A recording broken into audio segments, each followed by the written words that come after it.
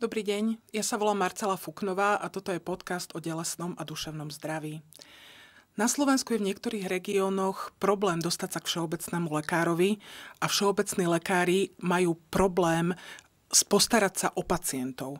Aj preto ministerstvo zdravotníctva pristúpilo e, k reforme ambulantnej starostlivosti a ja tu vítam pani e, doktorku Adrianu Šimkovú, ktorá je hlavnou odborníčkou ministerstva zdravotníctva e, pre všeobecné lekárstvo a v túto reformu vlastne spolu vytvára od začiatku. Dobrý deň, pani doktorka. Dobrý deň.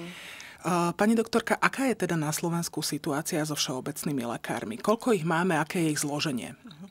Tak e, trocha zo štatistiky. E, momentálne máme asi 2400 všeobecných lekárov, okolo 1900 poskytovateľov zdravotnej starostlivosti. E, ak si zoberieme, aké vekové kategórie, najmladší lekár má 29 rokov, najstarší má 95 rokov, asi 41... 95 rokov. 95 rokov. 41% všeobecných lekárov je v dôchodkovom veku, čiže 63+, plus, čo počtu eh, všeobecných lekárov robí okolo 980 eh, všeobecných lekárov je dôchodcov alebo dôchodky, čiže celkovo máme nejakých 2400 až 980 máme eh, vlastne dôchodcov. Uh-huh. To znamená, že ten stav uh, nie je naozaj dobrý. Je, uh, v, koľko nám tých lekárov chýba? Celkovo sa odhaduje asi 310 lekárov nám chýba už teraz v systéme. 310 lekárov v systéme. Nie je to ale, e, dá sa povedať, rovnomerné chýbanie. Sú regióny, kde je tých lekárov, kde je s tými lekármi väčší problém. Sú regióny, kde je um, ich teda trochu viac. V, v ministerstvo zdravotníctva vypracovalo teda v mapu ktorá mapu tejto siete lekárskej a ona sa líši. V roku 2020 bola trošku iná, ako je teraz. Áno, e, v podstate ministerstvo zdravotníctva začalo e, robiť e, reformu ambulantnej zdravotnej starostlivosti.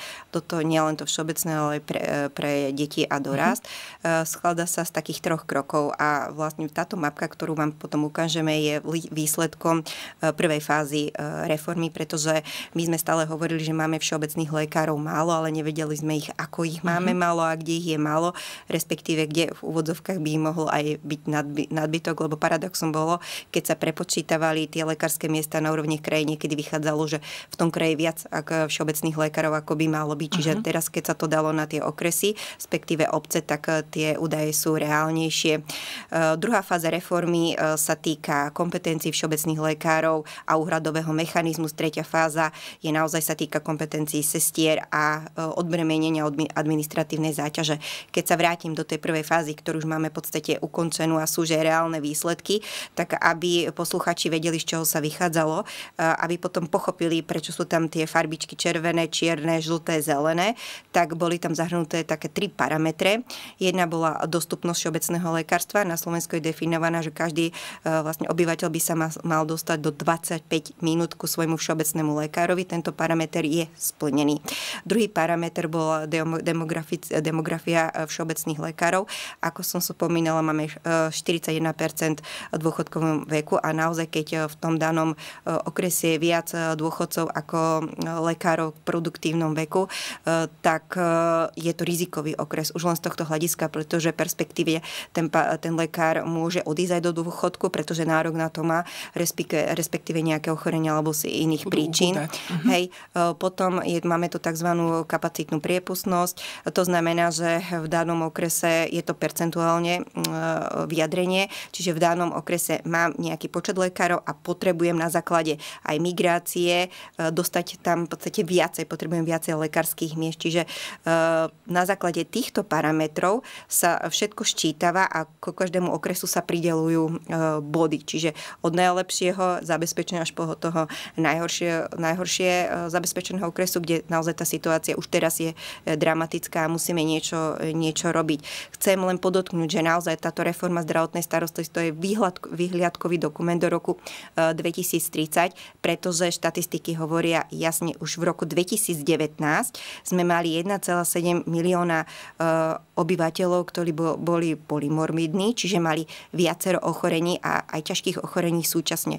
A naozaj tá štatistika, že do roku 2030 budeme mať 30 o 30 viac e, ľudí na 70 rokov, to znamená, pretože že nám Slovensko stárne. My uh-huh. Slovensko stárne a tým pádom aj ten tlak na tú ambulantnú zdravotnú starostlivosť, aby sme pokryli všetky tie, všetky tie diagnózy a aby sme mali dostatok špecialistov a v podstate aj všeobecných lekárov, bude, bude náročné. Čiže my budeme v systéme, alebo teraz sa v systéme upratuje. Uh, ak by som mohla mhm. poprosiť uh-huh. tú mapku, keď máme, uh, každý, kto, kto pozera, naozaj sú tam tie, tie farbičky. Zelená znamená zabezpečený, zabezpečený okres.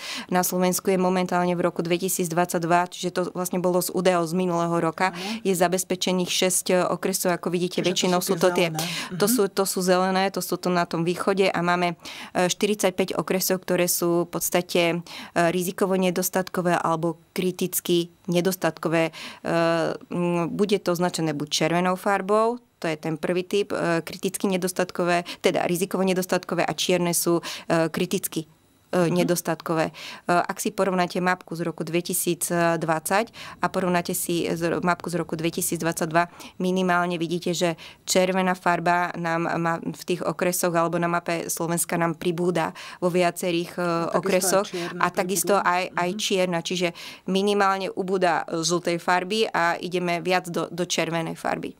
A čo chce teraz ministerstvo zdravotníctva spraviť, pretože my potrebujeme tých všeobecných lekárov a ako my lekári, ktorí sme začínali niekedy neskôr, vieme, že je problém, lebo vy ako, ako mm, lekár začínate byť ako kvázi podnikateľom, čiže to sú tie právnické osoby, mm-hmm. máte ako firmu a vy musíte fungovať e, ako firma a naozaj vy potrebujete nejaký e, budget financií, aby ste vôbec e, rozbehli svoju SROčku alebo svoj, svoju ambulanciu. Čiže bol problém, ako získať financie. Teraz sú naozaj, naozaj lekár môže dostať jednak pôžičku z banky, ale veľmi dobré, čo doteraz nebolo, že ministerstvo zdravotníctva dáva práve alebo umožňuje novovzniknutým ambulanciám alebo dáva možnosť naozaj v tých regiónoch červených, čiernych, aby sa e, čerpali finančné prostriedky, ktoré nemusia byť vrátené, čiže e, všeobecný lekár má možnosť na rozbeh ambulancie e, dostať nejaký finančný uh-huh. balík, e, ktorý môže byť maximálne v hodnote 60 tisíc eur, eur, ale pozor, samozrejme nie je to len tak, čiže nikto vám nedá 60 tisíc eur len tak. Vy musíte splňať aj nejaké kritéria, alebo ten všeobecný lekár musí splňať kritéria a musí aj kapitovať tých poistencov tak, aby, aby mohol čerpať tie finančné zdroje, pretože sa predpokladá, že keď e, u toho poskytovateľa je nakapitovaný už čoraz viac e, pacientov a e, v podstate lekár dostáva za tých pacientov paušálne peniaze od zdravotných poisťovní, čiže už nebude toľko musieť čerpať tých, tých finančných zdrojov z tejto pomoci ako na začiatku. Preto aj tie financie sú rozdelené. To si nemyslíte, že lekár dostane 60 tisíc eur naraz vôbec nie. Oni sú e, rozdelené kvartálne, čiže 4 krát e, do roka musí e, všeobecný lekár, alebo teda nový poskytovateľ, dávať informácie ministerstvu zdravotníctva, koľko má kapitovaných poistencov. Čiže ak on nakapituje do tej hodnoty, ktorá je optimalizovaná pre jedného lekára, pre jedného všeobecného lekára, je 1600 pacientov. Čiže ak on by ho napríklad 1600 pacientov získal za pol roka, tak samozrejme nedostane celý ten balík. Čiže v prvom, v prvom kvartáli dostáva 40%, v druhom kvartáli 30%, potom 20% a 10% z, toho, z tej celkovej sumy. Čiže je to naozaj e, rozdelené a a ministerstvo zdravotníctva podmienilo, keď ide do takéto rizikovej oblasti lekár, musí túto prax vykonávať minimálne 5 rokov čiže musí byť v tej ambulancii 5 rokov. E, ďalej musí poskytovať zdravotnú starostlivosť minimálne 35 hodín týždenne, z toho jeden deň musí mať e, do 5 hodiny, čiže do poobedia a musí mať jednu štvrtinu e, hodín vyčlenenú na to, aby sa pacient mohol bezplatne objednať buď elektronicky alebo mailom na vyšetrenie. Čiže sú tam také, také kritéria, čiže nie je to, mm-hmm. aj, aj tie peniaze neprídu tomu poskytovateľovi len tak, čiže musí byť všetky aj náležitosti a vôbec, aby on mohol začať poskytovať tú zdravotnú starostlivosť, naozaj musí mať pečkový kód, musí byť zaregistrovaný, čiže je tam ešte veľa krokov predtým, ale, ale je to prvý krok, ktorý naozaj umožnil ministerstvo zdravotníctva, aby dostali nenávratnú finančnú pôžičku, e, ktorá tu vôbec doposiaľ nebola. Nebola na rozbeh tej ambulancie. E, pani doktorka, ale ja by som sa možno ešte vrátila v podstate k porovnaniu tých dvoch map. Čo sa stalo za tie dva roky? Že sa tá situácia takto zhoršila? Uh, treba si uvedomiť, že naozaj uh, tie, tie mapky, máme tu migráciu. Máme migráciu, ktorá v podstate e, e, ľudia ako keby z východu viacej idú za pracovnými miestami alebo za, e, za prácou na, na západ, čiže tým pádom niekedy to môže byť také, také relatívne, pohybujeme sa v nejakých relatívnych čísloch, že, že ten východ ako keby bol viac zelený, napríklad Košice, Medzilaborce, Svidni, ako v tých jednotlivých okresoch vidíte ich zeleň, čiže my sa presú, oni sa presúvajú do Bratislavy. A pozrite sa, viem, že teraz, keď som si pozeral v Bratislave, Bratislava je červená, tam je 11, 11 miest e, novo vytvorených alebo môžu sa e, čerpať alebo môžu sa čerpať tie požičky pre 11 e, lekárov, čiže Bratislava je červená. Čiže to si povedzme, že v Bratislava si povedzme, že áno, sú tam dobré pracovné podmienky, ale tam je väčší tá kapacitná priepustnosť pre týchto, keď máme napríklad 10 e, všeobecných lekárov a ich potrebujem 15 na to, že mi s migráciou alebo prídu noví, noví obyvateľia sa mi nasťahujú. Čiže ten aktuálne naprofilovaný počet lekárskych nestačí. Nestačí a na druhej strane mohli niektorí lekári aj odísť do dôchodku. Čiže a, a my máme... aj pandémia k tomu prispela? Určite prispela pandémia a e, ten priemerný vek možno tých všeobecných lekárov je okolo 57 rokov. V roku 2019 to bolo asi 59, 2016 57 rokov. Čiže my sa stále bavíme, že naozaj my, sa, my máme lekárov, ktorí majú skoro 60 rokov, ale priemerný vek Čiže my máme málo uh, lekárov, ktorí majú okolo 29-30, uh, 40 ročných, tak my potrebujeme niečo spraviť a preto je aj tá reforma ambulantnej starostlivosti, aby sme pritiahli nových lekárov, našich, uh, to sú napríklad študenti, ktorí skončia alebo sú už lekári a zaradia sa napríklad do rezidentského programu pre všeobecné lekárstvo, aby sme mali nových lekárov. Alebo potrebujeme lekárov, ktorí sa preprofiluje z danej odbornosti, napríklad internista si môže urobiť všeobecné všeobecné lekárstvo do 6 mesiacov, napríklad aj geriatr do 6 mesiacov, um, lekár intenzívnej medicíny do 9 mesiacov. Čiže my máme aj tu zdroje preto, aby sme získali nových lekárov. Pani doktorka, ja som sa ešte chcela opýtať. Vy ste lekárkou v takomto kritickom okrese, dá sa povedať, myslím, že pezinok je červený. Ano. A v, ako vyzerá váš pracovný deň napríklad? Ako ste vy na tom s pacientami? Uh, ďakujem pekne za otázku. Naozaj teraz není horúco len vonku ako vysoké teploty, ale naozaj máme horúco aj v ambulancii, keďže e, nám prišla e, ďalšia vlna covidová, aj keď sme tie prognozy nevedeli odhadnúť ešte na začiatku, pretože vždy leto bolo kľudné, ľudia boli na dovolenke, bežné e, ochorenia, ale vidíme momentálne táto mutácia, ktorá je, tak ide veľmi, šíri sa veľmi rýchlo a síce u mladých ľudí ide ľahšie, ale stále vyzývam mám teraz napríklad skúsenosti naozaj u tých starších ľudí, že treba si dávať pozor a treba byť e, obozretný a pretože môže naozaj e, človek starý byť aj ohrozený na živote, čiže není to, to len tak, ale zdôrazňujem najprv, na, najmä byť obozretný pri tých starších ľuďoch. Čiže te, momentálne na ambulancii máme niekedy 120-130, e, máme čerpajú si aj sestričky dovolenky, čiže naozaj je tam, je tam veľmi horúco. Ľudia komunikujú mailom, telefonicky, no cítim sa niekedy. Taký mm. pekný obrazok bolo, že ako zdravotná sestra, tuto je ide telefon, tuto má počítač, tuto počúva, e, tuto vyšetruje. No je to niekedy naozaj veľmi ťažké a robíme aj po ordinačných hodinách. Takže akože vy to vidíte v praxi, že skutočne, to, že skutočne to nie je jednoduché. E, keď ste hovorili teda v, o tých mladých lekároch, čo by mohla mladého lekára pritiahnuť po medicíne, aby sa stal všeobecným lekárom? lebo v, panuje asi taká všeobecná e, predstava, že to sú ľudia, ktorí najmä teda vypisujú recepty, robia mm-hmm. preventívne prehliadky a posielajú ľudí k špecialistom v, ako je to, ako by to malo byť? Ja sa snažím aj propagovať, že naozaj všeobecné lekárstvo je atraktívny odbor s veľkým potenciálom, pretože už neplatí vôbec to, čo platilo v minulosti. Keď možno niektorí aj pacienti prišli do ambulancie a videli tam lekára, možno s jednou sestrou a písal na počítači a keď trebalo niečo, dávali výmenné listky. Na to už musíme zabudnúť, pretože už všeobecní lekári na teraz majú e, kompetencie, ktoré ich opravňuje robiť napríklad aj predoperačné vyšetrenia, starať sa o pacienta s vysokým krvným krvným tlakom, starať sa o pacienta s poruchou metabolizmu, cholesterolu alebo aj pre diabetom. Čiže toto sú už nové, nové kompetencie a my musíme pritiahnuť týchto lekárov, aby oni mohli robiť, robiť viacej, robiť viacej, pretože naozaj nie je atraktívne, a aby, aby len sedel na ambulancii a vypisoval nejaké súkromné poistky a vypisoval pre sociálku. Tam, tam je veľa vecí a administrať, čiže toto potrebujeme nejako si upratať. Tu uh-huh. už mhm. je tá tretia fáza reformy. Potrebujeme zvýšiť kompetencie, zároveň robiť aj štandardné diagnostické terapeutické postupy, aby sme vedeli, ako, ako, máme, ako máme postupovať. Samozrejme vždy s ohľadom na, na konkrétneho pacienta, pretože nemôžete v medicíne niek- na, presne toto, toto, toto, toto, to, lebo to je, to vždy sa odvíja od toho zdravotného stavu pacienta, ale môžete mať na to noty, alebo ja tomu hovorím takú kuchárku, ktorá vám napomôže, aby ste e, správne e, diferenciálno diagnosticky, ale respektíve terapeuticky postupovali.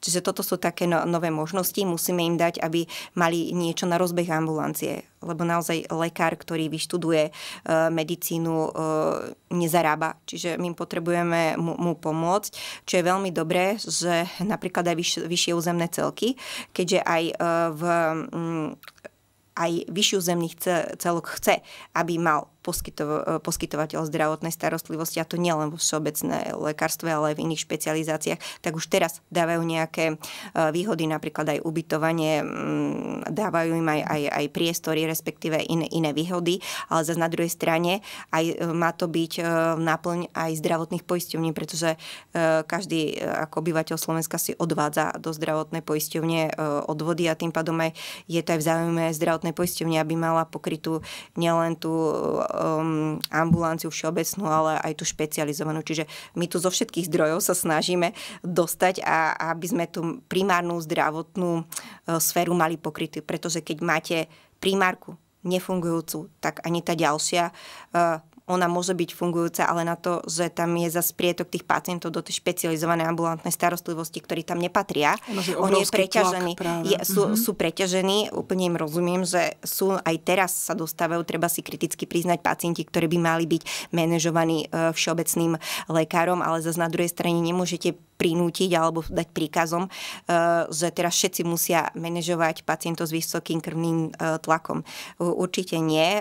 Tieto, čo sú nastavené kompetencie, sú na báze dobrovoľnosti, ale ja, úplne, ja dúfam, že naozaj do toho roku 2030 síce už tí lekári tak osvoja a tak sa s tým stotožňa, že už tých pacientov, ktorí sú dosielaní s takýmito diagnózami, dalo by sa povedať základnými, budú manažovaní všeobecnej, všeobecnej ambulancie. Mladí lekári e, chodia do nemocníc, oni stážujú teda po štúdiu. Ako je to s všeobecným lekárstvom? Ako sa oni vlastne dostávajú do kontaktu s týmto odborom? Všeobecné lekárstvo, vrátim sa k rezidentskému programu, trvá 3 roky. Lekár je 2,5 roka, je v nemocnici, chodí, cirkuluje orol, chirurgia, rok tam myslím, že, že interna, až posledných 6 mesiacov sa dostane do ambulancie všeobecného lekára a uvidí, aká je tá realita. Niekedy tá realita je naozaj, na, naozaj tvrdá a z môjho pohľadu my by sme troška mali aj upraviť uh, to vzdelávanie tých lekárov, pretože lekár, ktorý ide uh, si otvoriť aj tú ambulanciu, on musí vedieť, ako funguje aj uh, tá ambulancia, čo sa týka vykazovania nejakých administratívnych činností a proste celého, celého manažmentu tej ambulancie. Nikto to neučí.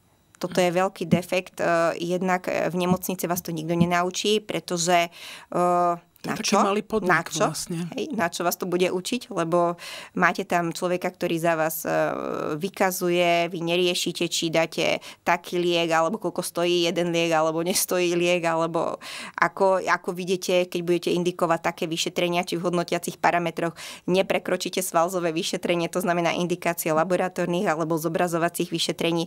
Čiže vy tam neriešite uh, tú finančnú v podstate zložku, vy idete, ordinujete a vy neviete, čo stojí glukóza a neviete, čo, ako, ako je, ale v ambulancii, keď ste, tak e, aj zdravotná poisťovňa e, vás kontroluje alebo dáva vám bonifikáciu alebo nejakú dodatkovú kapitáciu na základe určitých e, parametrov na tentokrát zadefinovaných zdravotnou poisťovňou.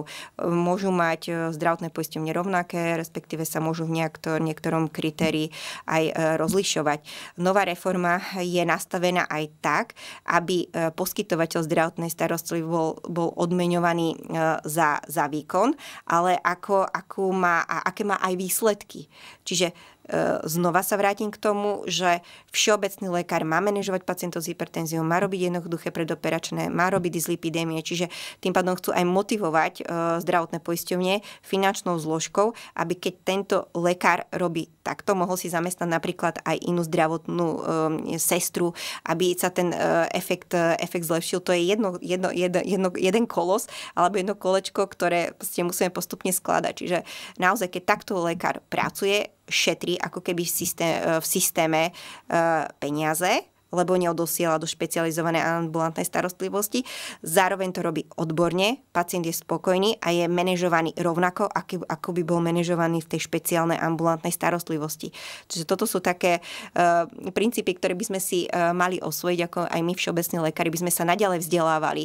Uh, naďalej uh, sa vzdelávali aj zdravotné sestry. Menili sa kompetencie zdravotným sestram. Menil sa celý manažment ambulancie. Napríklad už niektoré ambulancie majú recepciu, jednu sestru, druhú druhú sestru, až potom je lekár, čiže máme niektoré aj viacero uh, sestier, čiže všetko už sa teraz mení. Mení sa to, keď sa robí reforma, reforma sa robí niekedy, sa robí postupne a bolí. Hm. Čiže niektorých poskytovateľov naozaj ako keby mm, na základe svojho veku alebo niečoho iného, oni, oni majú problém. Majú problém, ale treba im to nejako uľahčiť, respektíve treba ich naučiť, že nebojte sa niekedy odísť toto eh, do dôchodku, pretože vy ste pre nás zácni, pretože vy nás môžete zastupovať. Čiže nie, uh, nie lekár, ktorý odíde do dôchodku, musí si vychutnávať a chce ešte pracovať, ale naozaj ten tlak terajší na IT zdatnosť a to všetko uh-huh. a stále nové kritériá, uh, nové postupy.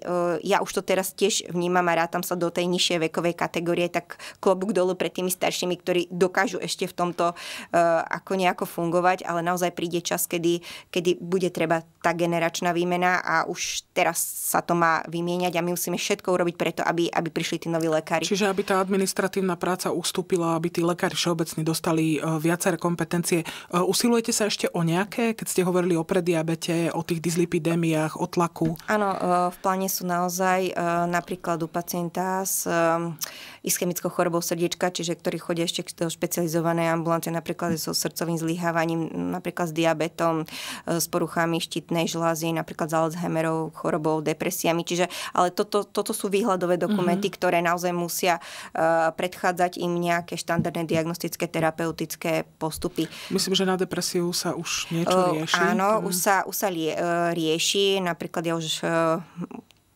počet tých pacientov s depresiou narasta, čiže už v ambulancii naozaj už e, dávam pacientov, ak sú indikovaní aj antidepresíva a nemusia chodiť e, na kontrolu k Tam je psychiatrovi. doba, myslím, až áno, 4 áno. mesiace niekedy. Hej, a keď si ešte zoberiete, že antidepresíva začne účinkovať o 3 týždne najskôr, čiže znova, kým by sa ten pacient objednal, to mu dajú termín napríklad za o 2-3 mesiace a už veľmi pekne nastaviť a zmanéžovať, cíti sa, cíti, cíti sa dobre, je schopný sa vrátiť do práce. Čiže tým pádom naozaj ten ten, ten efekt aj tej primárky, aj pre toho pacienta samotný ten benefit, že spokojnejšie so svojím životom a, a ako keby eh, mohol lepšie fungovať, eh, to je zmysel. To je zmysel, aby tí pacienti naozaj nemuseli čakať, aby ja som ich mohla odliečiť. Pani doktorka, e, existuje nejaká krajina, e, v ktorej je podobný systém? Opierali ste sa o niečo? Alebo v podstate je taká, ktorá vám je sympatická, že takto by to malo byť? Uh, no, takto. Sú viaceré zdravotné sú systémy, ale ani žiadny není ideálny. Mm. Žiadny není ideálny. My sme mali aj také kolečko stretnutia, napríklad aj z Rakúska, z Norska a boli tam, myslím, aj ešte sme sa bavili, neviem, či aj z Holandska, proste sú to Dánska. Čiže tým pádom my sa snažím z každého toho systému, ako keby, a samozrejme s našimi kolegami e, českými, čiže oni sú troška pre nás tiež takým, takým vzorom, oni ako keby už, už manažujú pacienta s diabetes, oni sú tro, inak, môžu napríklad predpisovať aj zdravotnícke pomôcky, čo my e, vôbec nemôžeme predpisovať. Ale zase nechcem hovoriť, že majú všetko dobré, ale aj my máme dobre. Čiže, ale my sa teraz snažíme z každého z toho systému vyskladať to, to ideálne, ktoré by e, bolo vhodné, pretože do tejto reformy sú e, za, zapojené jednak stavovské organizácie, jednak VUCčky, jednak zdravotné poisťovne, hlavní odborníci, aj odborné spoločnosti. Čiže naozaj tá komunikácia je ako keby taká transparentná, e, všetci sú informovaní a snažíme sa to v tomto, čo máme, vyskladať čo možno najlepšie. Dobre, čiže tých mladých lekárov, e, by, tá motivácia by mala byť jednak finančná a jednak teda tá odborná, aby sa e, naozaj dokázali realizovať v tej ambulancii aby teda mohli, mohli liečiť. Určite uh, treba nových všeobecných lekárov, pretože naozaj, aby, aby mohol robiť všetky tie kompetencie, ktoré možno ešte prídu a už aby mohol fungovať minimálne s týmito, ktoré už, už má a sú uhradené cez zdravotnú poisťovňu. Na to jeden lekár nemôže mať 3500 ľudí to sa nedá akože stihnúť. Čiže naozaj ten optimálny tých 1600 ľudí so všetkým, že stíha robiť preventívne prehľadky, všetkým predoperačné, všetkých hypertonikov, všetkých pacientov s dyslipidémiou, všetkých pacientov s prediabetes.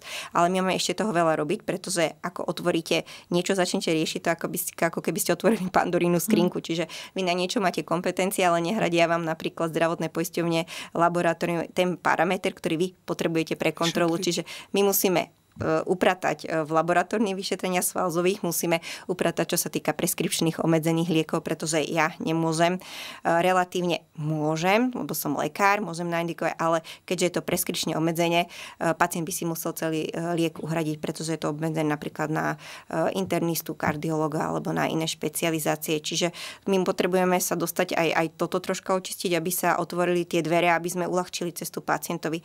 Aj minimálne teraz pacienti kolujú niekedy medzi špecializáciami špecialistom a všeobecným lekárom, kto im lieky predpíša a, a kto ich bude manažovať. Je to, je to trocha, e, je to, je to náročné, rozumiem pacientom, ale robíme všetko preto, aby padli tie preskripčné obmedzenia, ktoré nám už teraz sú ako keby paradoxne a zbytočné, pretože ja ako všeobecný lekár už môžem manažovať toho pacienta. Ak by som mala, môžem ísť do vyšších dávok, napríklad liekov na cholesterol, čiže tie preskripčné obmedzenia sú už naozaj irrelevantné a zastaralé.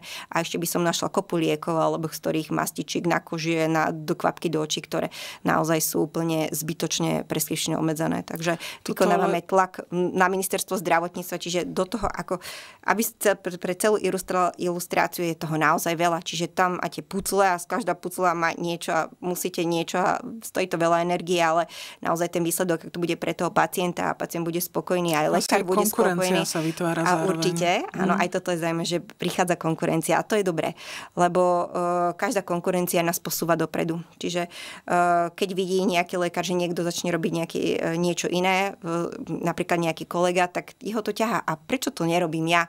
A jaký je v tom problém? Minimálne sa dovzdelávam, kúpim si prístroj, aby aj moji pacienti mali uh, zabezpečené, pretože uh, naozaj všeobecný lekár lekár mm, musí mať, čo je v minimálnom technickom vybavení, čo má nadiktované e, vo vyhláške alebo v zákone, čo musí mať ambulancia. Napríklad nie je napísané, že musí mať EKG musí mať len CRP prístroj. Čiže toto už je na tom poskytovateľovi, či si bude ochotný zakúpiť EKG prístroj a robiť EKG, alebo či bude posielať na EKG, ja neviem, kolegovi, alebo ja neviem, do špecializovanej ambulantnej starostlivosti. A keď už hovorím to posielanie medzi kolegami, kolegami, eh, ja vidím ideálne, čo sa aj ráta, že my by sme ako všeobecní lekári eh, mohli medzi sebou si posielať pacientov. Keď ja nerobím predoperačné vyšetrenie, urobí ho môj kolega, ale všeobecný lekár. Čiže ja stále nemusím toho pacienta posielať do špecializované ambulancie. Čiže ako keby ten e, všeobecný lekár alebo tá sieť všeobecného lekára e, fungovala ako minimálna špecializovaná ambulantná starostlivosť a, a tam a ten pacient je stále v tej primárke. Ešte nenaštívil, nenaštívil toho špecialistu. Čiže to je ako keby taká združená áno, prax. Áno, preto mi už pri, pribúdajú nám lekári, ktorí sú napríklad internisti a zároveň sú všeobecní lekári, ktorí sú geriatri a zároveň sú všeobecní lekári. Alebo ja neviem, sú to lekári pracovného lekárstva a zároveň sú všeobecní lekári. Napríklad sú aj chirurgovia, ktorí sú všeobecní mm. lekári. Čiže naozaj ten, e, ten obor, alebo oni, my máme na to podmienky, uh, aby, sme, aby, sme, aby sa toto udialo. A ministerstvo zdravotníctva to akceptuje aj v tej novej reforme, že takto by chodili pacienti a nemuseli by chodiť e, k špecialistom, len na druhej strane musíme sa dostať na úroveň, že aj tí pacienti budú akceptovať toho všeobecného lekára, akože je to špecialista v danom odbore, pretože hierarchicky naozaj ja mám tiež atestáciu, ako má špecialista a ja mám, robím výkony, ktoré možno ani ten špecialista nerobí. Čiže my musíme sa dostať, aby aj všeobecne sa ten všeobecný lekár akceptoval, že to je ten lekár, pretože všeobecný lekár má najširšie portfólio alebo musí mať najširšie počet vedomostí, aby robil správnu diferenciálnu diagnostiku, aby správne viedol toho pacienta cez to zdravotného systému, aby naozaj povedal, teraz ty musíš ísť gastroenterologovi, alebo máš toto, musíš nastaviť neurologa, urolo. Čiže toto robí všeobecný lekár Či, Čiže tým špecialistom by zostali ako keby tí komplikovanejší. Komplikovanejší, čo je uh-huh. správne a zase na druhej strane oni s nimi strávia viacej času, tak musia dostať aj viac zaplatené, pretože oni nefungujú na e, nejakej kap- kapitačnej platbe, čiže paušálnej platbe mesačne, ale výkonnostnej. Čiže aby aj prežil ten lekár, aby mohol dostávať plat, zaplatil celú tú ambulanciu so všetkým, tak musí byť naozaj finančne adekvátne ohodnotený. Keď by sa mu znížil počet pacientov, aby za ten jeden mhm. výkon naozaj bol uhradený tak, ako ako, ako má byť zaplatený, lebo sú to väčšinou polymorbidní pacienti, mm, sú to ťažší pacienti vyššieho veku, ktorí naozaj už s nimi strávite viacej. Častokrát majú Alzheimerovú chorobu. Osobne mám skúsenosti, že pacientku som taktiež ako v internej ambulancii vyšetrila a to vyšetrenie trvalo 45 minút, lebo pani sa zobrala a išla do druhej miestnosti. Čiže my sme museli dať, ako je, je to naozaj uh, náročné, ale máme tu takýchto pacientov, musíme byť na, uh, na nich pripravení a každý uh, pacient má nárok na zdravotnú starostlivosť. V, pani doktorka, to je tá druhá fáza, teda, o ktorej uh-huh. sme hovorili. A v, tá tretia fáza by sa mala týkať kompetencií sestier. Ano. Tam by mala asi odbudnutá administratívna práca. Určite administratívna práca, e, zás e, musíme sestru, máme rôzne aj s vysokoškolským vzdelaním, máme praktickú sestru, odborné sestry, čiže naozaj tá magisterská sestra by mala robiť minimálne niektoré úkony, ktoré robí teraz lekár. Čiže jednoduché mm. vyšetrenie, e, jednoducho manažovanie toho pacienta, napríklad jednoduché kontroly pacienta, takže toto by mala robiť zdravotná sestra. Hrajeme sa to aj s myšlenkou komunitnej sestry, čiže ktorá by sa starala naozaj o, chronickej, o chronických pacientov, napríklad z návštevou navštevovala by e, pacientov v domove seniorov, čiže ona by bola viac alkovaná pre tých chronických pacientov. Uh-huh. V, um, sú na toto aj pacienti pripravení? Myslíte, že e, v, lebo u nás sú ľudia naozaj tak zvyknutí, že niečo mi je, tak idem okamžite k špecialistovi? no, e, musíme ich začať učiť uh-huh. a mhm. musíme im to stále aj v médiách a proste opakovať, že bude sa to meniť. Musíme ich na to pripraviť Čiže e, samozrejme ne, nepríde to ako blesk jasného nema, ale všetko príde postupne. Čiže, ale teraz už treba začať, ako začíname my sa reformovať, tak sa musí reformovať e, aj obyvateľstvo Slovenska, alebo teda naši, naši pacienti a musia toto začať akceptovať, pretože to bude neudržateľné. To bude neudržateľná. Tá kapacitná priepustnosť je momentálne na nejakých 50, na 84%. Ak sa nič neudeje, ak sa nič neudeje, tak roku 2025 bude na ňou úrovni 58%. Čiže tam to klesne najmenej o 30%. Čiže e, je hrozba toho, že nie každý bude tak ošetrený alebo v takom časovom e, nejakom rozostupe, ako, ako by mal, ale ten pretlak sa nebude dať zvládať. Aj keby ste tam sedeli 12-24 hodín, lebo lekár nie je stroj. Môže robiť chyby. Ak je unavený, aj tú chybu urobí. Jasné. To znamená, že naozaj toto smeruje k tomu, aby sa tí ľudia k tej zdravotnej starostlivosti dostali a aby teda lekári do tej všeobecnej sféry išli. Určite, aby sa dostali k zdravotnej starostlivosti, kvalitnej zdravotnej starostlivosti, ktorá im prislúcha. Pani doktorka, ja vám veľmi pekne ďakujem za informácie. A ja ďakujem.